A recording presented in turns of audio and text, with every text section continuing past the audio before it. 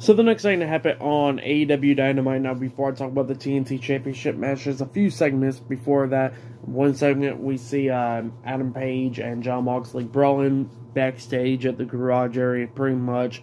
Um, but yeah, a bunch of security guards and stuff had break them up back there. So yeah, they was going at it. But then we get to another segment where we see Renee Paquette having a sit-down interview with Claudio Castagnoli and Wheeler Yuta the Blackpool Combat Club and uh, Jake Hager, Daniel Garcia, Matt Menard, and Angelo Parker, the Jericho Appreciation Society. And uh, yeah, we see Matt Menard and stuff talking junk to uh, Claudio and them talking about Claudio can't wait for you to join us after Jericho beats you at Final Battle and all that. And Claudio was like, I'm tired of all this talking. I'm ready to fight and all that stuff. And uh, Daniel Garcia was like, How about this? Me and Jake Hager versus y'all two in the tag team match next week. And they agreed to that and all that. And Wheeler Yuta was talking about how he challenges Daniel Garcia for a match for the uh, Ring of Honor Pure Championship at Final Battle. And they accepted that as well. So, yeah, a few matches has been made from that.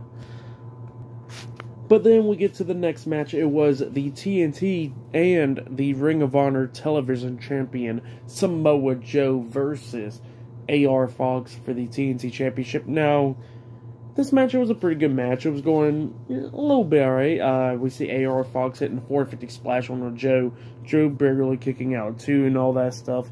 But then Joe starts coming back at the ending, beating down AR Fox, sets him up on that second turnbuckle lifting him up and then hitting the muscle buster onto him and then pins him for the one, two, three. So yeah, Samoa Joe retains the TNT championship and then after the match he grabs the mic and he's talking talking that this is gonna be a glorious era of him holding titles and then uh, we see Wardlow popping up on the big screen talking about like uh, how he's coming back to go after the TNT Championship, so be prepared. So yeah, that's what Wardlow said to uh, Samoa Joe. But for that match between Samoa Joe and AR Fox, I gotta give it uh, two and a half stars. That's what I'll give it. It was a pretty good match between those two guys. So yeah, go check it out if you haven't yet.